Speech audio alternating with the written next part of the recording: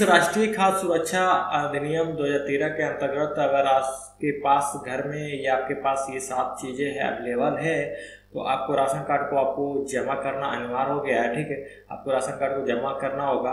तो चलिए आपको देख लेते हैं कि क्या क्या ऐसी चीज़ें हैं जो आपको यहाँ पर राशन कार्ड जमा करना होगा। तो चलिए मैं आपको यहाँ पर दिखा देता हूँ, ठीक है? तो पहला जो है दोस्तों, यहाँ पर दिखा देंगे जो आयकर धारा के अंतर्गत में आते हैं, वो अब यहाँ पर राशन नहीं प्राप्त कर पाएँगे।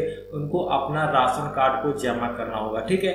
और इसके लिए अब आपको बता देता हूँ, अब उसका दूसरा चीज़ है, यहाँ पर अगर आपके पास सालाना आय तीन लाख या इससे अधिक है, ठीक है? सालाना आय जो है आपके पास तीन लाख हैं या इससे अधिक है, चाहे वो शहर से हों या ग्रामीण क्षेत्र से हैं, वैसे लोग भी आपको आपको राशन कार्ड को आपको जमा करना होगा, ठीक है? और तीसरा जो है, आपको यहाँ पर जो है, कम से कम आपके हंड्रेड वर्ग मीटर से अधिक का प्लॉट है, या फ्लैट मकान है, ठीक है?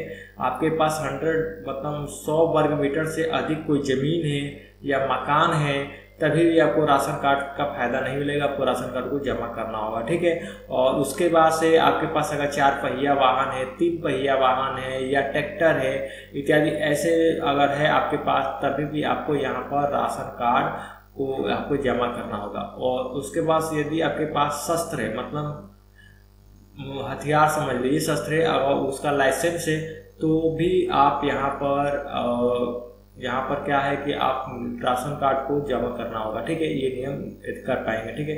तो यहाँ पर दिखा बता देते हैं। तरीके से कुछ आपके पास अगर ये सारी चीज़ें, पक्का मकान हो गया या गाड़ी चार पहिया हो गया या जो भी आपके पास ज़मीन हो गया तो अगर ये सारी चीज़ें तो आप राशन कार्ड को नहीं उठा पाएँगे। अगर आपकी आय तीन लाख रुपये सालाना से ज़्यादा ये भी ध्यान दीजिएगा।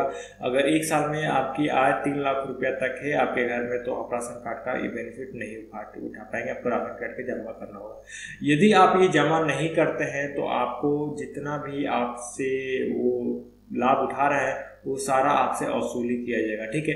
तो बस यही इन्फॉर्मेशन था तो आज के लिए बस इतना था दोस्तों। अगर इसी तरह का इन्फॉर्मेशन अगर वीडियो आपको चाहिए तो मेरे चैनल को सब्सक्राइब नहीं किया है तो चैनल को ज़रूर सब्सक्राइब कीजिएगा। चलिए अगले नेक्स्ट वीडियो मिलेंगे एक और ही बेहतरीन और अच्छी वीडियो के साथ।